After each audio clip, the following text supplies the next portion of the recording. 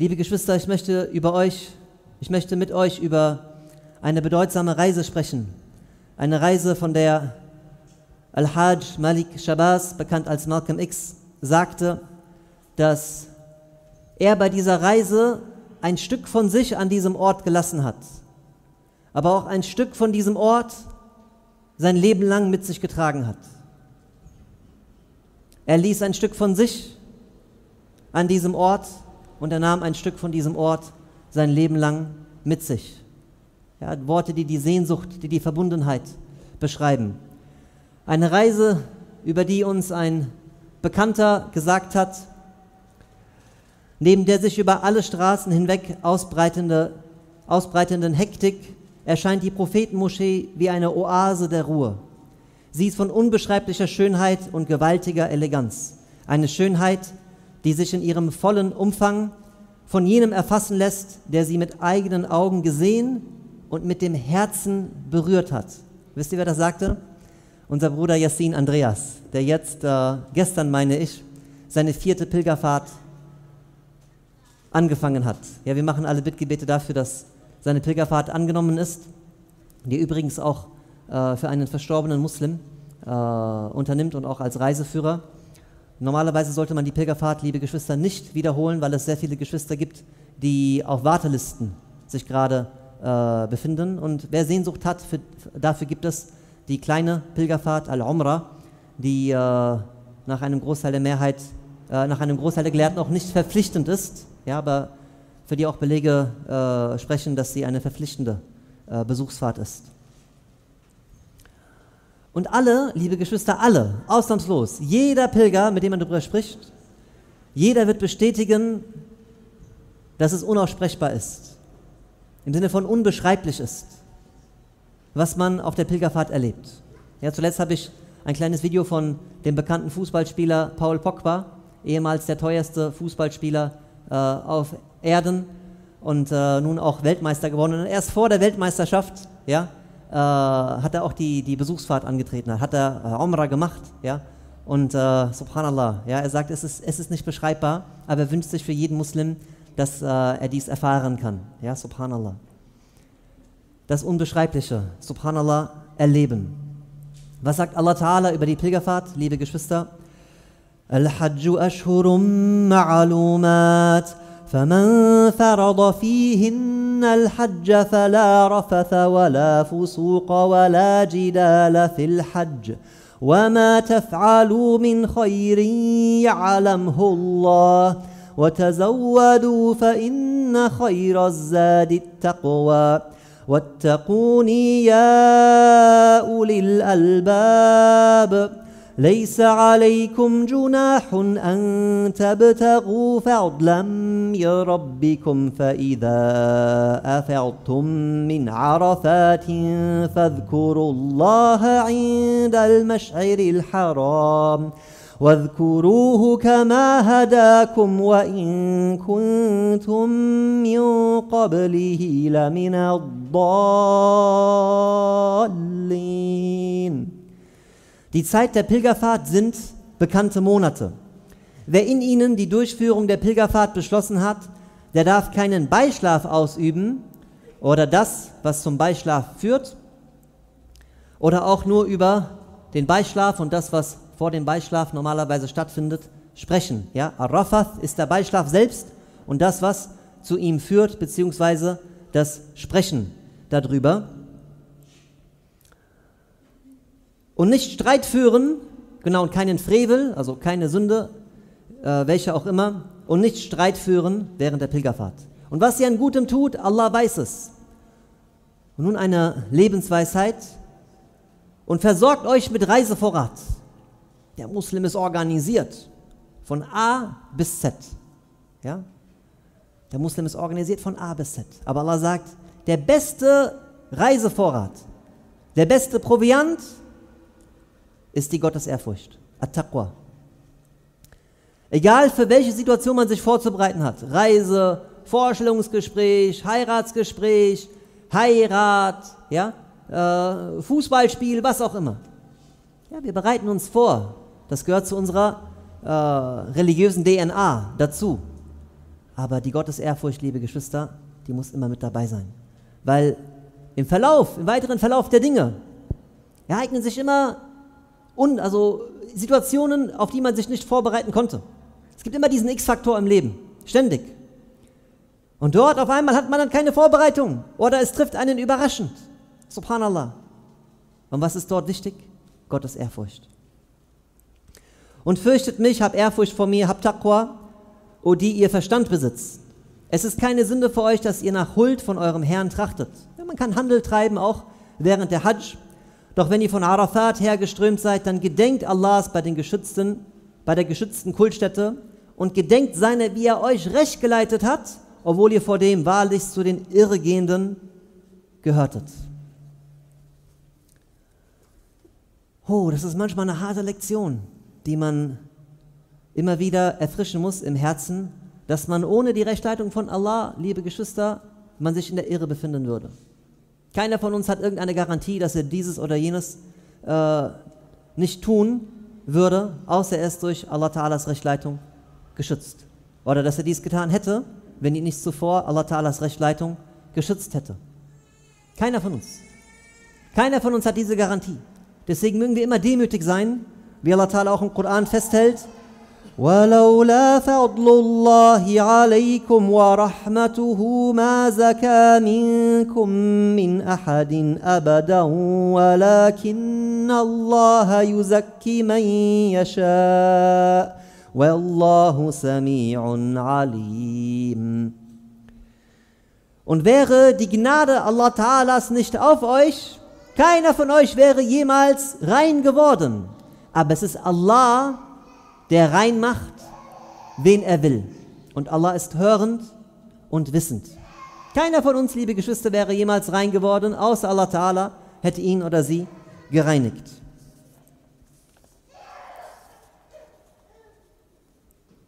Und der Prophet versprach, sallallahu alaihi wasallam, wer sich an diese drei Regeln hält, ja, wer keine Streitereien unternimmt auf der Hajj, ja, wer nicht sündigt im Allgemeinen und wer sich äh, der Sexualität auch enthält und das, was zu ihr führt, beziehungsweise Teil äh, dieser ist oder das Gespräch äh, darüber, dem verspricht Allah Ta'ala, dass er so zurückkehrt von der Hajj, wie er sich in dem Zustand befunden hat, als seine Mutter ihn geboren, zur Welt gebracht hat, geboren hatte. Dieser Hadith, liebe Geschwister, ist auch ein Beleg dafür, wir glauben nicht an eine Erblast, an die Erbsünde, sondern subhanallah, jedes Kind kommt rein auf die Welt und sündenfrei. Und in diesen selben Zustand wird Allah Ta'ala uns äh, versetzen, beziehungsweise die Sünden löschen, wenn wir eine erfolgreiche Pilgerfahrt abschließen durften. Und Allah Ta'ala sagt im Koran über die Pilgerfahrt, damit sie allerlei Nutzen für sich erfahren.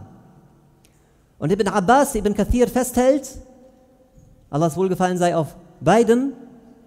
Er sagt, dieser Nutzen ist nicht nur ein Nutzen, der sich auf das Jenseits allein bezieht, sondern dieser Nutzen, subhanallah, erstreckt sich auch auf das Diesseits. Und er erwähnte einige Beispiele, darunter auch den Handel. Das heißt, der Muslim ist, wie gesagt, festgegründet in beiden Welten. Ja, An-Nafa' al-Manafi' der Nutzen, die Nutzen, liebe Geschwister, sie beziehen sich für den Muslim auf beide Welten und die Pilgerfahrt, liebe Geschwister, die Pilgerfahrt bringt doppelte ja, äh, Baraka mit sich. In Bezug auf das Diesseits wie auch auf das Jenseits. Das heißt, man möchte ja, sich um seine, auch um seine Dunja kümmern, macht die Pilgerfahrt. Was hat Paul Pogba getan, bevor er Weltmeister wurde? Die Pilgerfahrt gemacht und hat zur Pilgerfahrt eingeladen. Und was ist passiert? Alhamdulillah. Ja, sein Bittgebet wurde erfüllt. Ja? Wir wollen in beiden Welten erfolgreich sein. Liebe Geschwister, die religiösen Handlungen, sie sind geregelt, Alhamdulillah. Regeln, die uns auch einen, Alhamdulillah, Regeln, die uns belehren, Regeln, die unseren äh, Verstand fördern, unsere Denktätigkeit, Alhamdulillah, sodass wir auch in anderen weltlichen Bereichen herausragendes leisten können, wie auch zuvor die damaligen Universalgelehrten nicht lediglich Religionsgelehrte waren, sondern auch ja, Bedeutendes in der Medizin und in der äh, Physik und in anderen Wissenschaften auch äh, hinterließen. Ja? So werden wir gefördert durch das Verstehen der Regeln, durch das Anwenden der Regeln auf spezielle Kontexte. Aber das ist nicht, liebe Geschwister, einzig und allein Sinn einer religiösen Handlung, sondern es gibt dahinter steckende Weisheiten. Und Imam al-Ghazali, rahimahullah, er beschrieb, dass man manchmal aufgrund von lauter Regelbefolgung die Weisheiten nicht erfasst. Und er gab ein gutes Beispiel. Er sagte, manche Leute, die lernen, um zu lesen, ja, wir lernen Tajweed. Das gehört dazu. Ja, das bestreitet auch keiner. Und dazu laden wir auch ein und dazu fordern wir auch auf. Aber manche sind nur mit, der, mit, mit den Rezitationsregeln beschäftigt. Sie lernen, um zu lesen. Und er sagte, normalerweise sollte man lesen, um zu lernen. Ja, man sollte lesen, um zu lernen, aus dem Koran etwas zu entnehmen. Ja, deswegen darf ich euch äh, zwei Lesungen empfehlen. Ja, die eine Lesung, die man äh, durchführt für äh, auch die, die, die, also die korrekte technische Lesung, dass man sich um die Rechte der Buchstaben, im Islam, Alhamdulillah, haben sogar Buchstabenrechte, äh, nicht nur Menschen und äh, Tiere und Pflanzen, sondern auch Buchstaben, subhanallah. Ja? Huquq al-Huruf. Ja? Dass man jedem Buchstaben sein Recht gibt, aber danach, dass man nochmal dasselbe liest und versucht, was ist damit gemeint? Und was hat das mit mir zu tun? Und wie kann ich das am besten äh, umsetzen? Und wie kann ich das am besten weitertragen? Das heißt, wer sich auf die Hajj vorbereitet, liebe Geschwister, und das fängt damit an, dass man sich jetzt anschaut, wann man sich für nächstes Jahr Urlaub nehmen muss. Packt den Kalender aus. Wir alle haben einen Kalender, oder? Wir sind alle organisiert. Geht nicht ohne. Ja? Wann brauchen wir für nächstes Jahr Urlaub und Freizeit? Dann einen Sparplan äh, umsetzen. Kann sich auch ein bisschen Geld leihen. Super. Ja, beste Sache, für, man, für, die man sich Geld leihen kann. Dann zahlt man das im Nachhinein auch äh, zurück. Muss nicht sein, aber ja, warum nicht? Gute Idee. Dass man diese Segnungen der Hajj auch, Alhamdulillah, äh, früh erfährt. Ist auch ein großer Fehler, ja, der teilweise in einigen äh, Kreisen zirkulierte. Ja, Hajj machst du, wenn du gerade noch so laufen kannst oder wenn du jemanden findest, der dann deinen Rollstuhl äh, schiebst. Weil dann werden dann am Ende die Sünden äh, vergeben durch die Hajj. Und du willst ja nicht zurückkommen und dann am Ende äh, sündigen. Ja, du wirst zurückkommen und du wirst auch wieder sündigen. Aber nach der Hajj garantiert weniger. Und garantiert weniger schwerfällig, als wenn du es nicht schwerwiegend, als wenn du die Hajj nicht unternommen hättest. Und garantiert wirst du schneller Tauber, ja, Rückkehr Allah Ta'ala gegenüber, zu Allah Ta'ala äh, leisten. Und diese Tauber wird lang anhaltender sein, länger anhaltend sein. Ja, das heißt, bis man wieder sündigt, wird es länger dauern, als wenn man diese Hajj nicht hätte. Ja? Das heißt, wir wollen jung sein. Wir wollen frisch sein. Man braucht auch ein bisschen Kraft für die Hajj. Auch, da gibt es auch Strapazen, Alhamdulillah. Ja? Das ist nicht nur äh, ein, ein Spaziergang, sondern das ist auch ein Marsch, subhanallah. Und subhanallah, Weisheiten allein des Reisens ja, wenn Goethe beispielsweise davon spricht, dass es keine bessere Form der Bildung gibt als die des Reisens. Und andere Philosophen darüber sprachen, dass man durch das Reisen seine eigenen Vorurteile los wird. Aber diese Reise, subhanallah, ist nicht nur eine Reise, sondern sie ist eine Pilgerfahrt. Allah Ta'ala hat sie uns zur Pflicht gemacht. Und wir werden sehr viele Segnungen erfahren, liebe Geschwister. Wir werden viele Menschen aus anderen Kulturen kennenlernen. Wir werden, ja, es, ist, es berührt einen, subhanallah. Ich habe die Hajj, Alhamdulillah, äh, als 20-Jähriger machen dürfen. Und ich war gerade dabei, äh, einen Auftrag durchzuführen, nämlich neue Muslime zu sammeln. Ja, damals noch mit der Vorgabe, mit der deutschen Staatsbürgerschaft. Die haben dann, subhanallah, das geschenkt bekommen. Alhamdulillah, ich konnte ein paar Leute generieren und habe mir gedacht, ah, oh, subhanallah, schön, wenn ich das auch eines Tages machen könnte. Und dann auf einmal hieß es, weißt du was, du kannst auch mit. Du hast auch keinen äh, äh, äh Pass aus einem äh, klassischen muslimischen Land und du bist auch Muslim geworden. Also, und dann, subhanallah, ich war, ja, ich war unvorbereitet, aber ich habe das gerne angenommen. Und vieles, was ich dort unternommen habe, habe ich nicht richtig verstanden aufgrund der ja, ähm, verbesserungsfähigen Vorbereitung. Aber trotz dessen, liebe Geschwister, ich kam zurück und das Leben, subhanallah, ein Segenschauer nach dem anderen, eine Kräftigung nach der anderen, subhanallah. Wichtig, Und im Nachhinein denkt man, wie wäre es, wenn du noch besser vorbereitet gewesen wärst und so weiter. Ja, aber man hat dort eine Gruppe gehabt, man hat gelehrt um sich herum gehabt, ja, die das etwas aufgefangen haben. Und vielleicht kann man auch nicht alles verstehen, vielleicht kann man auch nicht alles erfahren. Man merkt, man spürt manchmal auch nicht, wie die Medizin in einem wirkt. Und trotzdem gibt es ein Resultat. Subhanallah, deswegen, ich will nicht viel über persönliche Berichte, über Persönliches berichten, weil dann habe ich noch mehr Probleme mit der Zeit und äh, das, das ist euch eurer nicht würdig, weil ihr alle auch beschäftigt seid. Was sagt Allah Ta'ala über die Hajj? إن أول بيت وضع للناس للذي ببكة مباركا وهدى للعالمين. فيه آيات بينات مقام إبراهيم. ومن دخله كان آمنا. ولله على الناس حج البيت من استطاع إليه سبيلا. ومن كفر فإن الله غني عن العالمين Das erste Gotteshaus das für die Menschen gegründet wurde, ist wahrlich dasjenige in Bakka. Es war kein Fehler meinerseits, die auch häufig vorkommen. Nein, Bakka. Hier heißt es nicht Makka. Und eine Rechtleitung als ein gesegnetes Haus und eine Rechtleitung für die Weltenbewohner. Darin liegen klare Zeichen. Es ist der Standort Ibrahims, salam, und wer es betritt, ist sicher. Und Allah steht es den Menschen gegenüber zu. Es ist eine Pflicht, liebe Geschwister. Es ist eine Pflicht, dass ihr in euren Kalender schaut. Es ist eine Pflicht, dass ihr das Geld generiert. Es ist eine Pflicht, dass ihr alles organisiert, dass ihr euch frei machen könnt für diese Pilgerfahrt. Dass man einfach alles in alles Mögliche tut, alles, was in den eigenen Möglichkeiten steht, um dies zu verwirklichen. Allah hat einen, ja, es steht Allah Ta'ala zu. Diejenigen, die dazu die Möglichkeit haben. Man ist ilayhi sabila.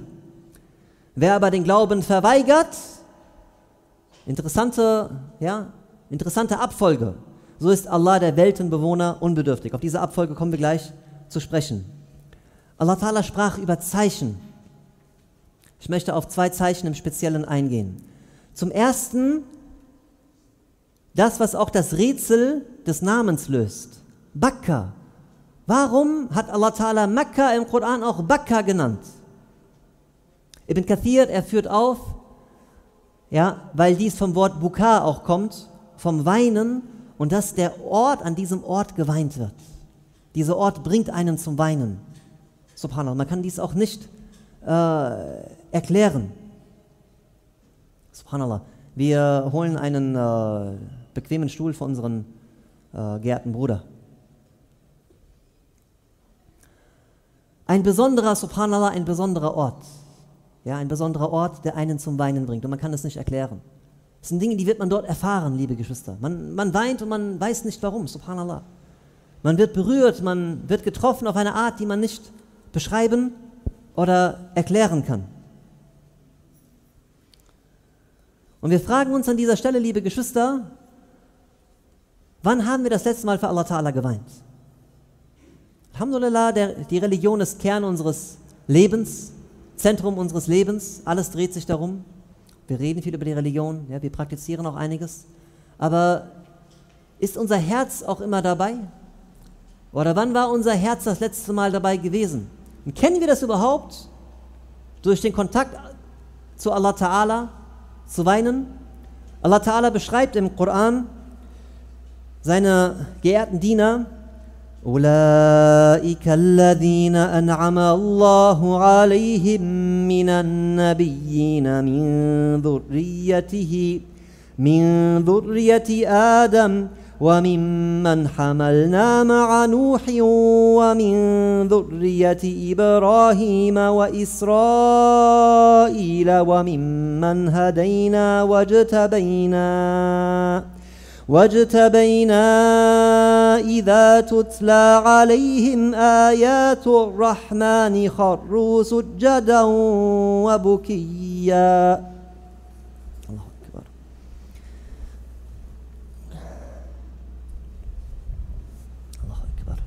Das ist eine der besonderen Ayat, liebe Geschwister, zu bezüglich derer man sich niederwerfen kann. Es ist keine Pflicht, wenn man sie liest bzw. wenn man sie hört. Allah Ta'ala beschreibt, das sind diejenigen, denen Allah Gunst, Gnade erwiesen hat unter den Propheten aus der Nachkommenschaft Adams und von denjenigen, die wir mit Nuh trugen, ja, auf dem Schiff, und aus der Nachkommenschaft Ibrahims und Israels, damit ist Jakob gemeint, und von denjenigen im Allgemeinen, die wir recht geleitet und erwählt haben. Jeder Einzelne, Alhamdulillah, der La ilaha illallah im Herzen trägt, der wurde von Allah Ta'ala erwählt und recht geleitet. Und Allah Ta'ala beschreibt sie. Als ihnen die Zeichen des Allerbarmers verlesen wurden, fielen sie ehrerbietig nieder und weinend nieder. Koran muss uns berühren, liebe Geschwister. Die Rechtleitung muss uns irgendwo berühren, sollte uns berühren. Wenn sie uns auch nicht so berührt hat, dann müssen wir uns hinterfragen. Und das machen wir gleich in den nächsten Minuten. Allah Ta'ala sprach weiter, spricht weiter. فخلف من بعدهم خلف أضاعوا الصلاة واتبعوا الشهوات فسوف يلقون غيًّا إلا من تاب وآمن وعمل صالحا فأولئك يدخلون الجنة ولا يظلمون شيئا Dann folgten nach ihnen Nachfolger, die das Gebet vernachlässigten. Damit fängt das Problem immer an. Du vernachlässigst dein Gebet. Ja, ist der Anfang von einer Prüfung. Letztens kam, das ist schon länger her, ein paar Monate, ein Bruder zu mir und er brachte einen anderen Bruder mit. Und er beschrieb ein Problem, was dem anderen Bruder widerfahre, äh, widerfahren ist. Und ich habe gesagt, der Bruder hat nicht richtig gebetet. Und er sagt, doch, doch, und er betet fünfmal am Tag und in der richtigen Zeit so und so und so. Und der Bruder hat das so rübergebracht, ich konnte nicht sagen, okay, ich glaube dir nicht, sondern, okay, vielleicht ist es ja eine besondere Prüfung und ja, Allah, wenn er jemanden liebt, dann prüft er ihn. Und dann subhanallah im weiteren Gespräch kam heraus, der Bruder hat nicht richtig gebetet in dieser Phase, wo ihn dann die Prüfung heimsuchte. Ich sagte, Bruder, hast, weißt du noch, wo ich gesagt habe, der Bruder hat nicht richtig gebetet? Da sagt er, ah, subhanallah. Ich, ich habe das nicht gewusst, ich höre das jetzt zum ersten Mal und so weiter. Du vernachlässigst dein Gebet, wisse, irgendetwas kommt in dein Leben. Irgendetwas kommt in dein Leben. Halt immer fest am Gebet. Weil was passiert, wenn man das Gebet vernachlässigt? Und die ihren Begierden folgten. Wenn man nicht der Rechtleitung Allah Ta'alas folgt, man wird seinen eigenen Begierden folgen. Und was ist das? Was ist die Konsequenz? So werden sie den Lohn für ihre Verirrung vorfinden, außer demjenigen, der bereut und glaubt und rechtschaffen handelt. Es ist nie zu spät für Tauber, liebe Geschwister. Jene werden in den Paradiesgärten eingehen, in den Paradiesgarten eingehen und ihnen wird nichts Unrechtes zugefügt. Ja, die, diejenigen, die also Rechtleitung erfahren haben, liebe Geschwister, sie werden damit beschrieben, dass sie ja, vom Herzen her sprechen, mit Tränen. Und was hält uns davon ab, liebe Geschwister? In einem Hadith heißt es,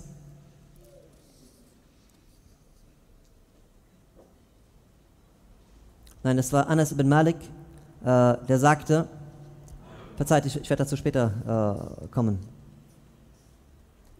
und die Träne ist es auch, die in dem berühmten Hadith von den sieben Beschatteten am Tage des Gerichts, wo es keinen Schatten gibt, also sieben Gruppen, die einen speziellen Schatten erfahren, äh, gegenüber den anderen, die eben keinen Schatten bekommen, an dem Tag, an dem die Sonne so nahe gebracht wird wie ein kleines äh, Hölzchen. Ja?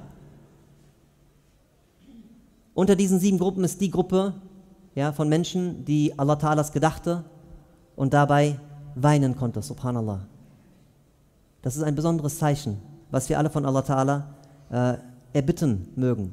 Was sollte uns zum Weinen bringen? In dem Hadith vom Propheten, äh, Atabarani hat ihn überliefert und als äh, Hassan eingestuft, ja, dass gesegnet derjenige ist, der seine eigenen Fehler beweint. Das heißt, wir denken über unsere Sünde nach. Und das sollte in uns Trauer ja, auslösen, die uns dazu führen kann, dass wir eben auch äh, weinen. Oder wenn wir eine Gabe bekommen haben, ja, Ubay ibn Ka'b beispielsweise, radiallahu anhu, als er eine Gabe von Allah Ta'ala bekommen hat, eine spezielle Gabe von Allah Ta'ala, ja, äh, das brachte ihn auch zum Weinen. Oder wenn wir uns äh, den Tag des Gerichts, ja, und die, die Realitäten, die uns umgeben, ja, wenn wir uns dieser Realität, Realitäten bewusst werden, dann ist das auch eine, eine Quelle der segensreichen Träne, liebe Geschwister. Weil der Prophet sagt, sallallahu alaihi wasallam, wenn ihr wüsstet, was ich weiß, würdet ihr was? Ja, wenig lachen und viel weinen. Und man kann dahin kommen, liebe Geschwister, sich die Dinge bewusst zu machen, wie die Prophetengefährten beschrieben, als sie mit dem Propheten zusammen waren, sallam, ja, so sahen sie quasi das Höllen, Höllenfeuer, äh, beziehungsweise so sahen sie quasi äh, das Paradies. Ja, dass wir in diese, ja, in diese Zustände regelmäßig kommen, aufgrund dessen, dass wir das von Allah Ta'ala erbitten und viel entsprechenden Dhikr auch machen. Warum können wir nicht weinen? Anas ibn Malik, er sagte, dass man nicht weinen kann aufgrund dessen, dass man sündigt. Und man sündigt aufgrund dessen, dass man keine Taqwa hat, keine Ehrfurcht Allah Ta'ala gegenüber. Und was passiert dann, wenn man keine Ehrfurcht Allah Ta'ala gegenüber hat? Eine andere Liebe kehrt ins Herz ein, nämlich die Liebe zur Welt. Und diese Liebe zur Welt ist es dann, die das Herz hart werden lässt. Und dann vermag man nicht zu weinen, subhanallah. Dann vermag man nicht zu weinen, ja? wie es Anas ibn Malik erklärte. Subhanallah, eine Beschäftigung, die alles beinhaltet, liebe Geschwister, die uns an all dies erinnern wird, ist das Hören des Korans. Und auch das Hören des Korans, liebe Geschwister, ist eine spezielle Ibadah. Denn der Prophet Muhammad er forderte andere dazu auf, ihm vorzutragen. Ja, subhanallah, weil das auch eine Ibadah ist. Und Ibn Mas'ud, ja, nach groben Berechnungen, trug ihm ungefähr 20 Minuten Koran vor. Und dann hörte er Hasbuk, ja, Stopp, sinngemäß. Und dann drehte sich Ibn Mas'ud zum Propheten um und sah, dass der Prophet weinte. Das heißt, wir reden jetzt nicht von irgendeinem dramatischen Weinen äh, und alle hören und sehen, nein, sondern das ist etwas, das man haben kann. Ja, die Gelehrten sprachen darüber, als ob die Träne Tränen hat. Das ist kein großes Drama, liebe Geschwister. Ja, es kann ein Drama sein bei dem einen oder anderen, aber ja, in der Regel ist das, das ja, die, die, das Berühren ins Auge tritt. Kann, kann eine kleine Träne sein, aber das, ja, man ist dabei, subhanallah. Ja, wie bin ich auf die 20 Minuten gekommen? Weil ungefähr acht Seiten aus Surat al-Baqarah ja, vorgetragen wurden, bis Ibn Mas'ud an einen bestimmten Vers gekommen ist und dann erst hat er vom Propheten die Aufforderung bekommen, aufzuhören und dann sah, dass der Prophet zusammen ja, äh, Tränen überströmt gewesen ist. Ja, und eine Seite, wenn sie würdevoll vorgetragen wird, kann man ungefähr mit, ja, ungefähr, jeder hat sein eigenes Tempo, aber zwei, drei Minuten, zweieinhalb Minuten äh, betrachten. Da sind wir wieder wo, liebe Geschwister, beim Koran. Wir sind beim Koran. Sheikh Hashim, Alhamdulillah, der 28 Personen zwischen sich und dem Propheten hat, sallallahu alaihi wasallam, die ihren Schülern jeweils Lehrerlaubnis gegeben haben. Ja? Er unterrichtet uns jetzt inshallah an sechs Tagen in der Woche. Es gibt Gruppen für sieben bis neunjährige, es gibt Gruppen von zehn bis 13-jährige, eine Gruppe für zehn bis 13-jährige, eine Gruppe von 14 bis 17-jährigen und zwei Gruppen für, äh, ja, in dem Sinne Erwachsene, Schwestern wie auch äh, Brüder, Alhamdulillah, also einen Schwestern, zwei Schwesternkurse und zwei äh, Erwachsenen äh, Brüder äh, Kurse. Geht auf die Homepage und meldet euch an, subhanallah. Danach sollten wir streben, subhanallah. Ja? Danach sollten wir streben, liebe Geschwister. Das ist unsere kleine Hajj, die uns möglich ist, dass wir ja, immer wieder ein, zwei Mal in der Woche äh, die Termine mit dem Koran äh, und dem Koranlehrer wahrnehmen. Lass uns an dieser Stelle um Vergebung bitten. Allah Ta'ala ist der Einzige, der uns zu vergeben vermag.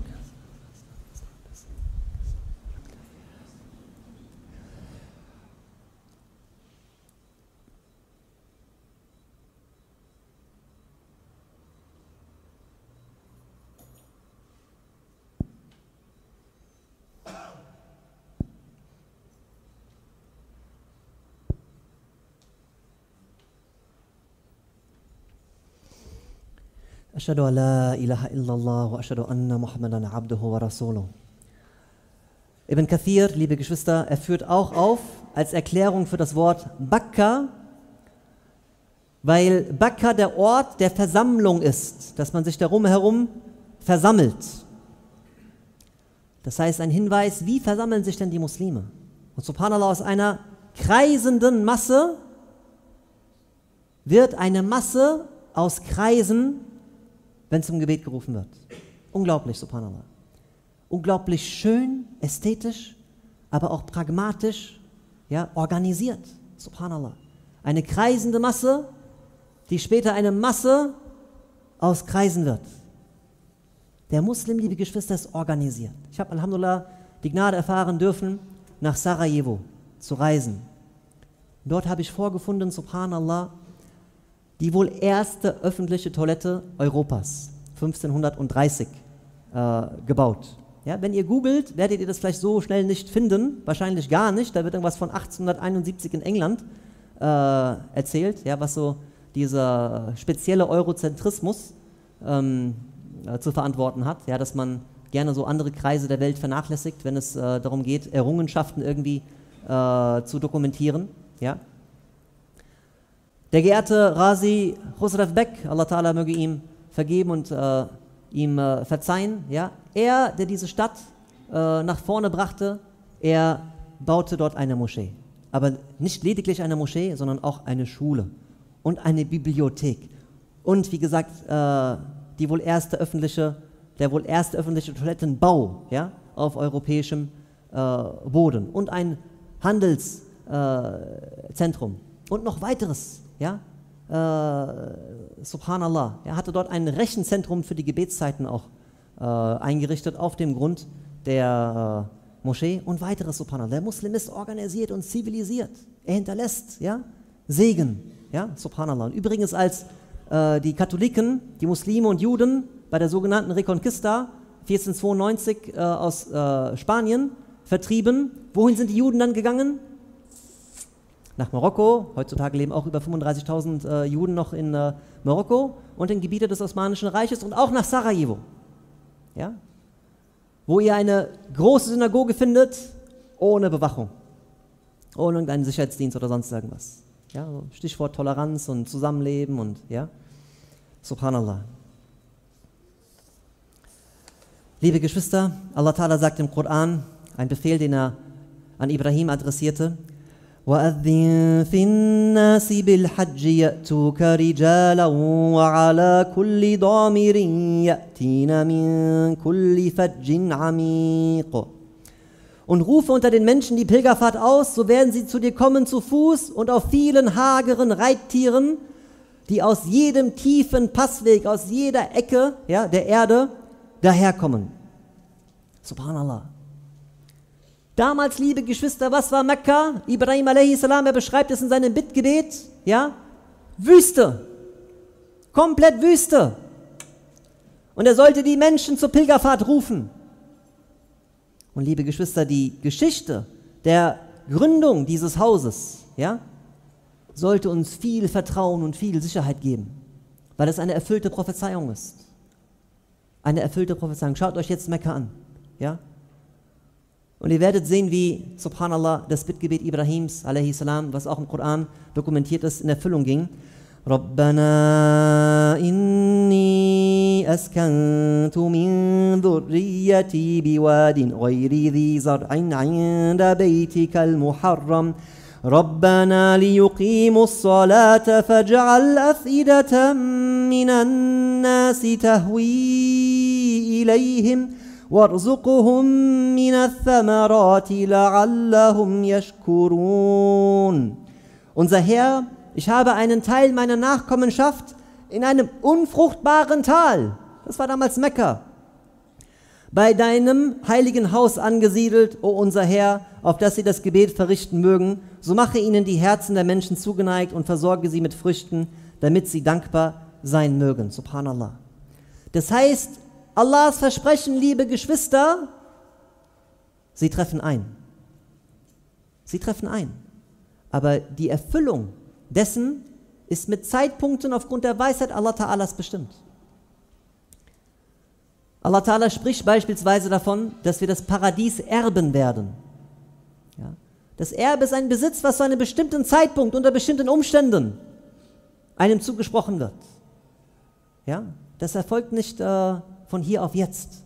Und so sollen auch wir alle Versprechungen, die Allah Ta'ala uns gibt, ja, fest im Herzen tragen. Das wird sich ereignen. Auch wenn ja, die Situation vielleicht nicht äh, gut aussieht. Ja? Vielleicht sieht sie total schlecht aus. Ja? Total hoffnungslos. Aber das ist, wenn man mit dem Auge hier sieht. Aber wenn man mit diesem Auge sieht, subhanallah, ja, so wie Bruder Yassin es beschrieb, ja, man muss es mit dem Herzen berühren.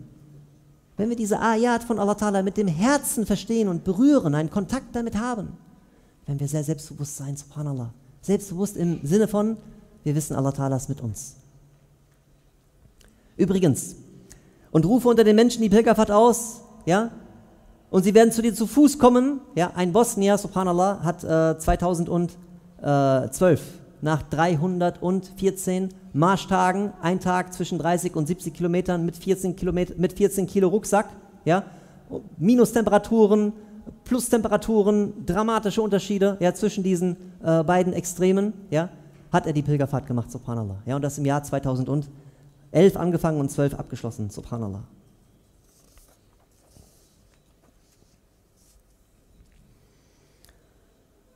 Ach, subhanallah, so viel, was man wieder. Äh wir sollen uns alle vornehmen, die Pilgerfahrt zu machen, liebe Geschwister. Und wir werden es, wie gesagt, nie bereuen. Und es gibt auch niemanden, der die Pilgerfahrt gemacht hat und dann am Ende sagt, hätte ich sie doch später gemacht. Gibt's nicht. Es gibt nur diese, ja, dieses alte Gerücht, was ja vielleicht auch jetzt schon längst vorbei ist, subhanallah. Weil der Prophet sagte auch, sallallahu alaihi wasallam, man arada al-hajja fal.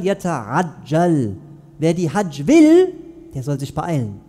Ja, das heißt, das Erste, was wir tun, unser erster Schritt ist, ja, das Blättern im Terminkalender, feststellen, wann ist die Hajj, ja, nächstes Jahr und dann schauen, oh, ich brauche da Urlaub, ich brauche da irgendwie, äh, ich muss mich da freischaufeln von Verantwortungen und ich generiere dieses Geld. Und wie gesagt, man kann sich dafür Geld leihen, das ist keine Verpflichtung, ja, aber warum nicht Geld leihen für die Hajj? Ist gute Sache. Ja. Beste Investition, beste Investition, liebe Geschwister. Ja, Allah, oh Allah, Bitte vergib uns. Oh Allah, bitte segne den Propheten Muhammad sallallahu alaihi wasallam und seine Familienangehörigen und seine Gefolgsleute. Allahumma amin.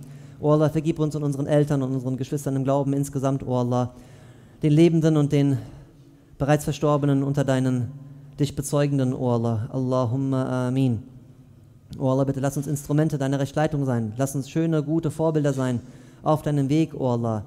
Würdig, ja, dass wir uns zum Islam bekennen. Allahumma amin. O Allah, bitte schenke der Umma Sicherheit. O Allah. Allahumma amin. O Allah, bitte beschenke, un, beschenke uns mit Freiheit und Selbstbestimmung. O Allah, bitte befreie unsere Gefangenen.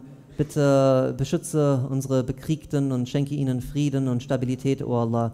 Bitte heile die Kranken, O Allah. Allahumma amin. Verheirate die Unverheirateten unter uns, O Allah. Allahumma amin. Und schenke den Weisen unter uns, O Allah sich, sich ihrer annehmender Pflegeeltern, oh Allah. Allahumma amin. Oh Allah, bitte schenk uns Sicherheit. Schenk uns Sicherheit im Kosovo und in Bosnien gegenüber denjenigen, die dort wieder Landraub betreiben wollen, oh Allah. Und überall auf der Welt, oh Allah. Allahumma amin. Oh Allah, Allahumma salli wa sallim ala nabina Muhammad wa ala alihi wa ashabihi ajma'in. Oh Allah, wir bitten dich mit all deinen Namen, bitte segne uns und vergib uns und bitte segne den Propheten Muhammad sallallahu alaihi wasallam Allahumma amin und schenk uns all das, was der Prophet von dir erbeten hat und schenk uns Zuflucht vor all dem, wovor auch der Prophet Muhammad sallallahu alaihi wasallam bei dir um Zuflucht gebeten hat. Allahumma salli wa sallim ala nabina Muhammad wa ala alihi wa ashabihi ajma'in.